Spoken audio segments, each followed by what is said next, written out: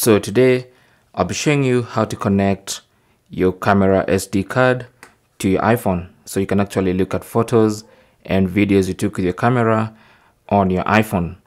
Now for this one we're actually going to need two things. One is a memory card reader. This is the one you'd normally connect to a computer. You insert the SD card here, right here, and then insert this into a computer or this other end into uh, any other device. And also we are going to need this adapter. This is a lightning on one side and then also a type A port on the other side and also an extra lightning pass through so you can actually charge the devices and this is important to have one with this uh, lightning pass through and that's because some of the devices you connect will actually give you an error on the iPhone saying that that device requires too much power. And that's why this comes in because you can actually add power by putting a connected lightning cable here, connect the other side to power, and that's going to power everything else as you use your accessories. So this is very important to have one with a lightning pass-through. So the first thing you need to do is obviously connect power. So add extra power connect one light one side of the lightning cable to power and the other side of the lightning cable there. So that will give power to your iphone. You can actually see it charging right there. And then now simply put your camera sd card into the card reader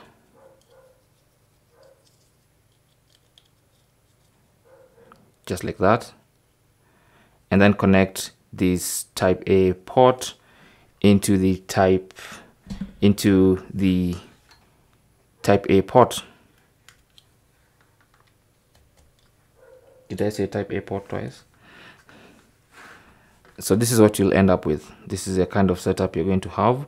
So you have the SD card into the card reader and the card reader into this adapter and that's going straight into the iPhone so now, once you do that, let me just put it this way for better viewing. So now that everything is connected, all you need to do is now is go into files. And if you go into files and then go to browse, so you can go on the main page. So tap on browse and then make sure you, you're on this page where you can actually see locations. If you're not on this page and you're probably somewhere like here, simply tap the back button and that should take you to the browse page.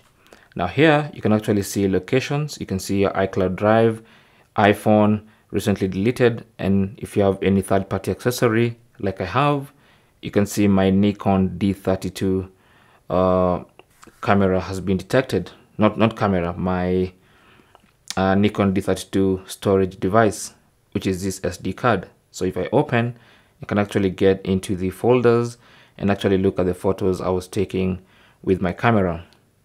So I can scroll through photos just like that.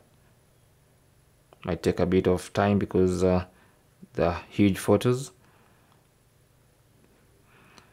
I can even look at some of the videos that I recorded if I have one.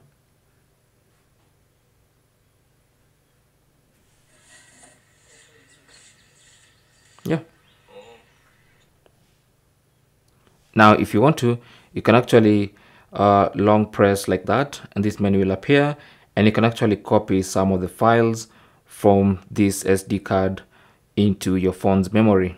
So all you need to do is tap on copy and then you can go back and go back and go back back again and go onto your iPhone storage choose a folder and then you can actually tap on the menu at the top there and paste uh, the things you copied. Or rather instead of tapping on the menu simply uh, touch and hold an empty space and a menu will appear and you can actually paste an item just like that. You can see that photo being transferred into my uh, iPhone's memory. And that's basically how you can connect your camera memory card or your camera SD card onto your iPhone and actually transfer files. Thanks for watching.